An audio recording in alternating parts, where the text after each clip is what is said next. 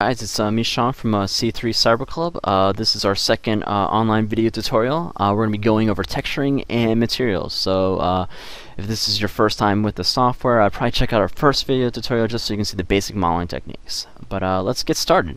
So, right now, this is my basic house that I built up. Um, right now, everything's made out of dirt, so it doesn't really look like the greatest place to live at. Um, but we're going to change that. We're to spruce it up a little bit. So we need to get into texturing uh, to be able to do that. So textures. Um, first of all, we want to make sure that we're in edit mode. Okay, so now we have our house layer selected. And you guys can use um, any particular uh, map if you want to. This is uh, just a map that I worked on. But you can use any of the maps that are provided by Platinum Art Sandbox or work on your own. Uh, we're just going to go over some of the techniques that allow you to sort of spruce up that map. But uh, what we're going to do is we're going to start texturing uh, this first wall here. So what we want to do is make sure that we have this whole area selected. So like our very first tutorial, we want to make sure we left click and right click to select the whole face. So now we have this whole side selected. Now what we can do is we can go ahead and press F2 to bring up our texture menu. So once we press F2, you see all our different textures that are assigned to us right now that we had can select. So you'll see there's actually eight pages worth of content. Uh, so there's a lot of different choices. Um, you'll look here, uh, page 2 has a few more different sort of textures for the houses. Um, we also have uh, page 3 is a little bit more futuristic textures, more sort of metallic, shiny textures. Uh, even number 4 is like that. Number 5 is where we have more sort of our primary colors. So if you just want to set particular colors for something, that's fine. Uh, and then we have number uh, 6, 7, um, it kind of go a little bit more into sort of white and black textures and uh, a few other ones that we can select from right here. Okay. So right now, uh, since I'm building a house, uh, let's just stick with uh, some stones. So I'm going to go ahead and uh, let's click on this one. So once you click on your texture, uh, it should automatically assign it to whatever you had selected before. So we're going to go ahead and just press F2 again to get rid of our selection. And you'll notice here are the textures. So pretty good. And uh, we can go ahead and do that for the rest of our uh, house here. So again, left click, right click, it's going to be much easier.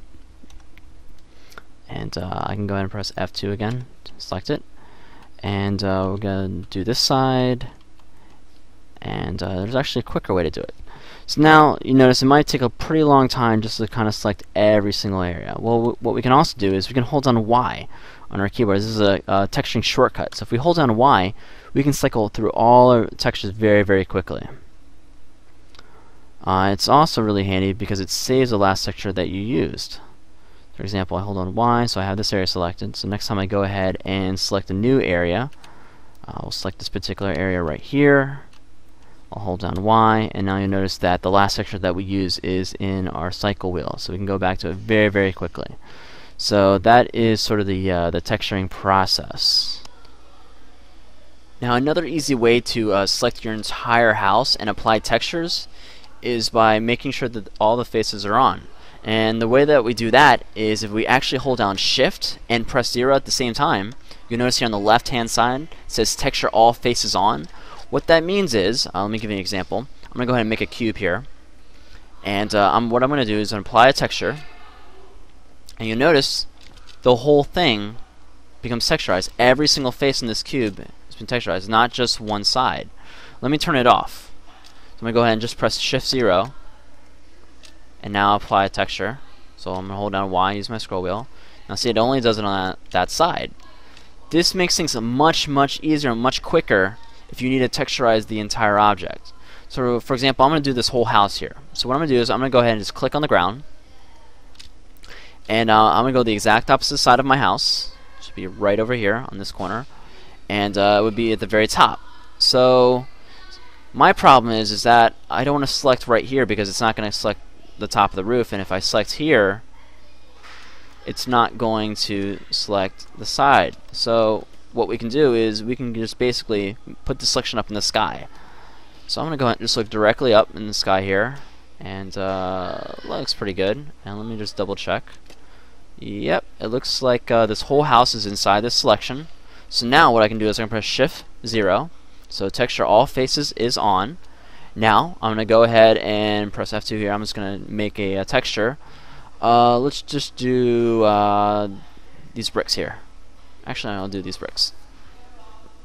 I just press F2. Now everything inside this house has been texturized. So this is really, really great method if you're just starting out and you need a texture that it's going to encompass the entire object that you're making. So right now, now that I have most of the uh, bricks in here, I can kind of go back in here and apply some different textures to the floor if I want to. And uh, it's just much easier because now that I know all my walls are this particular texture. Okay? So make sure you use that method when you're designing your house. It's going to make things much, much quicker. Now, one of the other things I wanted to get into is materials. Now, materials and textures are a little bit different. Materials are things that you can sort of interact with. And with interacting, I mean by, you know, for example, water. You can swim in it, lava. If you jump into it, you're going to die. Uh, things called clips, no clips. Um, all these various different things fall into the category of uh, materials. So let me go ahead and uh, I'm going to make a pool right now in the backyard. Uh, let's go ahead and make a nice little pool. Bring up the real estate value of this particular house. Uh, so I'm going to go ahead and make my grid size a little bit bigger. And uh, I'm going to go ahead and just put the pool over here. And uh, I'm going to push it down so I can do the depth of the pool. So that's pretty deep. I like that. And what I'm going to do is I'm going to right click on my mouse, the outside, the edge of it. Right there. Okay? Now if you make a mistake and uh, you can't fill up the whole thing, what you can always do is just right click and keep right clicking and eventually it's going to extend that selection. So that's pretty good. It's covering the entire pool. Now, what I'm going to do is press F3 and uh, we're going to go to materials. These are where my materials are located at. So we have a lot of different ones here. From clip, glass, lava, no clip, water, respawn, alpha, and AI clip. And let's go over each one. Let's go over the water. So I'm going to go ahead and select on the water and now it's applied a water material, but it doesn't look like water. But you need to go to uh, game mode to uh, see what it really looks like. So if you go to game mode, now we have the reflections, we have the waves on here. It looks a lot more realistic. So we can jump into it. We're actually swimming in it right now. So the controls are pretty basic. Just basically look up and move forward. That's all. And we can also jump out of it. Okay. Let's uh, try lava. So we're going to go ahead and create a little lava pit here. Let's push that down. And uh, that's pretty good. And again, I'm going to right click on the outside. Actually, instead of doing that, let's make it a little bit more interesting here. I'm going to make lava, but only the, let's see, let's push down even more. Here we go, this is good.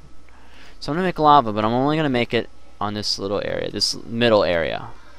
So you notice this is going to be the width of the, uh, the lava. I'm going to go ahead and press F3. Materials lava.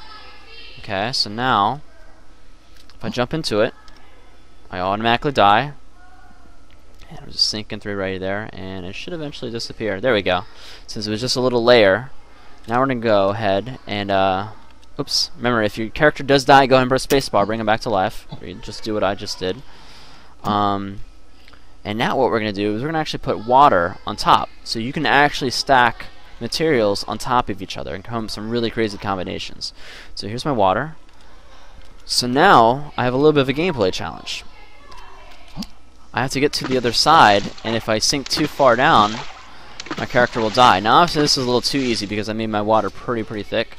But if I made it very, very thin, if I changing the grid size to maybe, for example, this one, this would definitely make it a lot more challenging and a little bit more fun. Let's actually try it. I haven't really tried it this small before. Let's just see what happens. Okay, some materials, water. Got a tiny little layer of water and lava underneath. so I didn't even make it. Let me try one more time here. I have to jump very, very quickly. You're going to have to have some fast reflexes just to get to the other side. Yeah, that's not going to happen. But uh, you can make your game much more challenging just by kind of, kind of combining these different materials together. Uh, let's find out some other materials and play around with them. Uh, let's go over clip. Now, have you ever played a video game before where you're trying to fall off the edge of a map or you're trying to get across somewhere but there seems to be this invisible wall that's kind of stopping you? That's probably because the game designers created a clip in the game. So what I'm going to do right now is I'm going to make a clip for the stairs here. So I don't want my character to fall off the edge of the, uh, the edge and fall to the floor here. So what I'm going to do is I need to actually make uh, actual geometry. Oh I just build it up here. Okay. Now what I'm going to do is I'm going to select it. So I'm select one side. Now the other side. Press F3, bring up my materials. Let's go to clip. And what I'm going to do is just use my scroll wheel just to push away the geometry and add the material. There we go.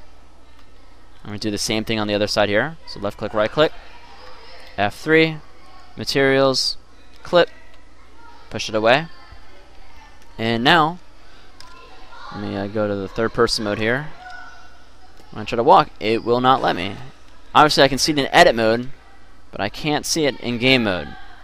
Now there's something the exact opposite. There's something called a no clip. Now this is when uh, you have a wall here that you can actually walk through. So if, for example we had sort of a hidden uh, treasure chest on the other side or passageway, we can kind of combine a no clip to allow us to get to the other side.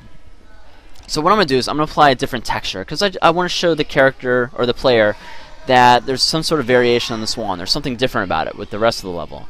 So, and use textures uh, often to sort of convey a sort of uh, a direction or a sense of uh, um, a, a, sense of uh, skill for the player to kind of get across. Um, so they're very very helpful. Uh, we're going to go ahead and uh, I'm going to go ahead and press F3. Uh, I'm going to go to my materials and uh, I'm going to go to my no clip. Once I click on my no clip, I don't have to use my scroll wheel. I just kind of just go in and now as you can see I'm actually going through the wall. Okay? Let's find out a few more. Um, let's go over respawn. Now respawn is an area where your character will automatically die when he touches it. So for this example, I'm going to go ahead and I'm going to go to respawn right here. And what I did was I put it in this little section of the doorway. And uh, I don't want to be too cruel, so I want to at least let the player know that uh, there's something bad over here. And I'm going to actually use uh, these glowing textures, textures here at the bottom. These one, two, three, four, five. Actually, there's a few more. Uh, these textures actually glow. So if I click on, this is on my first uh, texture menu. I click on it. Now, there's obviously something going on here. Something's not right. Now, if I walk through it, my character automatically dies. Um, this comes in really handy uh, if you're making uh, like a torch or you know maybe some vines or like uh, some thorns or an area where your character falls off and you want him to automatically die when he touches it. That's when you would use a respawn, which is really great. Okay, so let me show you some other sort of techniques. I'm gonna show you an alpha. So with alpha, I'm going to go ahead and select these objects here. I'm going to go ahead and press F3, materials, and go to alpha. So when I press on alpha, oops, I didn't bring my character back to life. What it does is it makes a see-through texture. It's very similar to glass, except it applies a texture to it. And I can't walk through it. I'll just make some glass right now, since I haven't done that yet. I'll just apply it right here. Go to my materials, go to my glass, and now I have my glass, and uh, unfortunately I can't break it. I don't know how. If you guys figure out how to break glass, that would be great. But uh, you can actually see through it, and uh, that's it. So the last one I want to go over is the AI clip. Now it sounds exactly uh, it's exactly what it sounds like. It's basically creating a clip that almost uh, or that actually prevents your AI character or creature to get through. So what I'm going to do is I'm going to apply it to this little area. I'm going to make like sort of a little little fence area here. And I'm going to put it right here. Okay, so I have a little area right here for my creature. And if you haven't gone over creatures yet, I'm going to do it really quickly. Don't worry, we have another video tutorial that will show you how and go in, depth with it. Press F3 here. I'm going to go to my type, creature, and uh, I'm going to go ahead and just pick the rat. Now if I press E one more time, I loaded my creature in here. So now you notice this rat cannot get across the AI clip, but I can go through it. So this is a great way to sort of control your characters where you want them to go, kind of limit their movement. oh my gosh. Looks like the rat actually jumped out. That is a very smart rat. Uh, if I had some cheese, I think I would give it to him just as a reward. But uh, it looks like it just wasn't high enough, so if I actually built this AI clip a little bit higher, um, he wouldn't be able to get out. But uh, that's just basically a quick uh, tutorial on the, uh, the materials. And actually, let me show you how to clear out the material. So if you go ahead and select the material again, press F3, go to materials, go to material clear. We can have our materials disappear. It's just basically deleting them. I'm going to go ahead and do the same thing over here. Material, material clear, now it's gone. And my rat seems like he's very happy that he doesn't, he's not stuck in a cage anymore. Okay, so um, that is, yep, a quick little tutorial into textures and how to apply them to uh, your map. Also, materials and how to utilize your materials and put them into the game. And uh, if you guys have any questions, uh, check out our website, c3cyberclub.com. You can also check out the Platinum Arts website. They have some really great tutorials on there. And uh, I hope to see you guys again. Bye-bye.